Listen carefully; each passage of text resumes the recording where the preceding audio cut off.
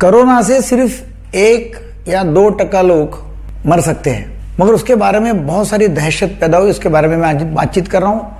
हम उसे कैसे बच सकते हैं? तो आइए आपका स्वागत है। मेरा नाम है डॉक्टर दीपक केड़कर। मैं मनोविकार से रोग सम्मोहन तथा व्यसन मुक्त हूँ। महाराष्ट्र में मुंबई, पुणे, अकोला, नागपुर यहाँ प्रैक्टिस करता हूँ। कोरोना वायरस अभी महाराष्ट्र में भी काफ़ी पैमाने पर आया हुआ है और काफ़ी सारे रुग्ण अभी उसमें डिटेक्ट हो रहे हैं। कोरोना से हम आसानी से बच सकते हैं। उसमें क्या हुआ है कि एक तो स्मार्टफ़ोन की वजह से सोशल मीडिया इलेक्ट्रॉनिक मीडिया अखबार, इसकी वजह से बहुत ज़्यादा उसका फैलाव हो रहा है। एक्चुअली इतनी दहशत भी लोगों में आ चुकी है।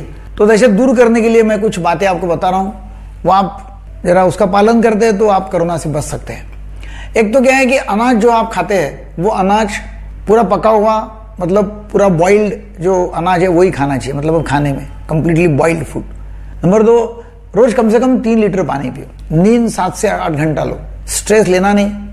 धूम्रपान और शराब, इससे दूर रहो। देखो, नाक गलना और थूक यदि आती है तो वो कोरोना नहीं है। क्योंकि कोरोना का जो संसर्ग होता है, उसमें नाक नहीं गलता।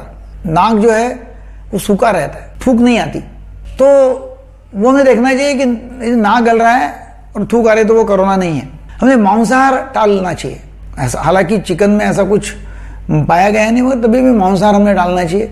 चीनी वस्तु जो है चाइनीज़ वो नहीं खरीदना चाहिए अभी, बिल्कुल ही। लहसुन जो है, लहसुन, उसके बारे में काफ़ी कहा गया है, ऐसा कोई साइंटिफिक पुरावा उसके लिए नहीं है कि वे लहसुन खाने से कोरोना में टाल सकते ऐसा कुछ भी नहीं है।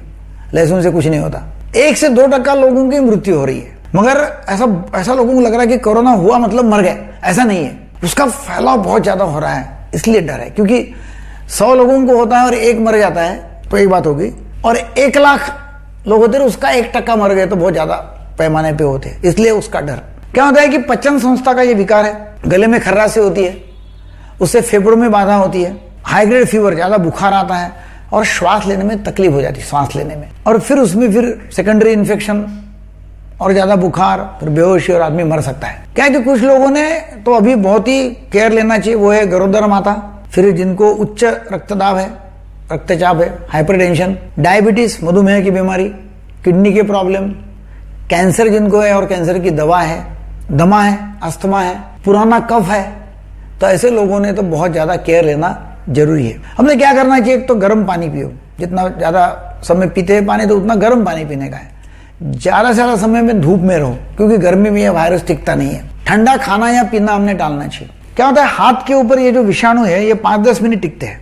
तो हमने कभी भी, कहीं भी हाथ लगाते हैं तो हाथ सैनिटाइजर से हैंड वॉश से धोना चाहिए, जिसमें कम से कम 60 परसेंट अल्कोहल है। या एंटीसेप्टिक लोशन होगा उससे।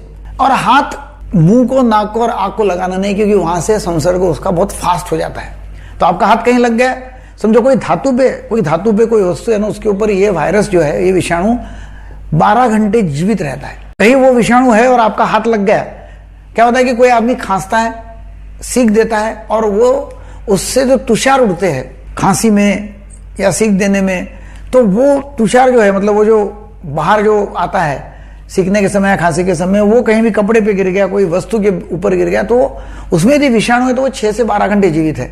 अपना हाथ उसको लग गया तो हाथ के ऊपर आ जाएगा। हाँ कहीं भी हाथ लगाते हैं तो अपने बार बार बार बार देखना चाहिए कि हाथ हैंड वॉश से सैनिटाइजर से, जिसमें सिक्सटी परसेंट अल्कोहल है, उसे धोना चाहिए। और हाथ अपना बार बार मुँह को, नाक और आँख को नहीं लगाना चाहिए। तो ये ये प्रिकॉशन लेते हैं। तो काफ़ी सारा, और बहुत ज़्यादा अभी तो गवर्नमेंट में बहुत बैन लाया हुआ है कि बड़ी बड़ी कॉन्फ्रेंसेस या पॉलिटिकल पार्टीज़ के बड़े मीटिंग्स है, वो सब उसके ऊपर रोकथाम लगाया हुआ है। बाहर देश से जो लोग आ रहे हैं, उनके ऊपर रोकथाम लगाया गया है। बाहर देश से कोई अपना इंडियन आता है तो उसको अभी स्पेशल वार्ड में रखा जाएगा और उसके ऊपर नज़र रखी जाएगी। तो ऐसे गवर्नमेंट की तरफ़ से काफ़ी सारे प्रिकॉशन ली जा रही है, मगर उसमें कोई ऐसा बहुत ज़्यादा डरने का कारण नहीं, डर के बहुत प्रॉब्लम हो रहा है। तो यदि हम ये ऐसी प्रिकॉशनरी मेजर लेते हैं तो कोरोना होने के बाद में बच सकते हैं। ऐसा नहीं है। क्यों? क्योंकि आप यदि स्ट्रांग रहे, अपने इम्यूनिटी सिस्टम यदि स्ट्रांग रही तो उसका भी असर कुछ होगा नहीं। इसका मतलब ऐसा नहीं कि ख्याल देना नहीं है। मैंने जो अभी तक बताया, वो सभी उसका पालन करो केयर लो, और अपने आप को बचाओ, क्योंकि prevention is always better than cure बचाव करना है, सबसे अच्छी ट्रीटमेंट होती है तो उसे बचाव करना ज़रूरी है। पैनिक होने की ज़रूरत नहीं है।